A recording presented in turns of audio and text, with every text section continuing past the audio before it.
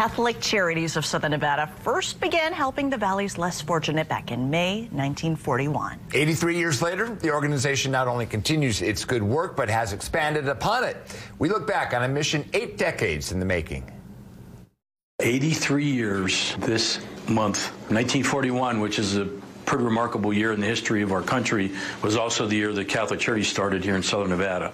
Established by Bishop Thomas Gorman as the Catholic Welfare Program, what we now know as Catholic Charities has evolved over the years to meet the Las Vegas Valley's changing needs.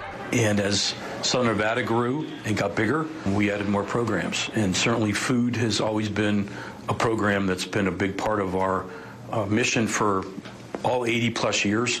And up to today, we're serving, gosh, about 4,500 people a day. And that includes the 2,500 senior citizens enrolled in the Meals on Wheels program. Deacon Tom tells us many of them rely on drivers for more than something to eat. Some of those seniors are alone and really have no one to check on them. And so part of the gift of Meals on Wheels is the drivers are taking seven meals at a time directly into the home and doing a wellness check on that client.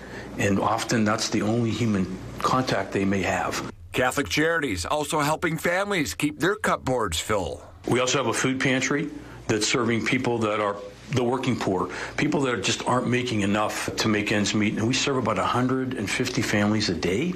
And filling the stomachs of those who may not have a kitchen, let alone a cupboard. Every day, we provide a fresh, hot meal for anyone who needs it. And that can be typically over 500 families a day, 500 individuals and families that are coming for a free meal because they have no place else to go. Everyone is welcome. I like to say that we don't check religious ID cards around here. And so all of God's children are welcome for food and resources. We're here to help. We're not here to judge. Deacon Tom says it's been a worthy mission for decades, and it will continue to be so in the future. We've been doing this meal for more than 50 years, never missed a day. That's God's grace, and that's the generosity of this community.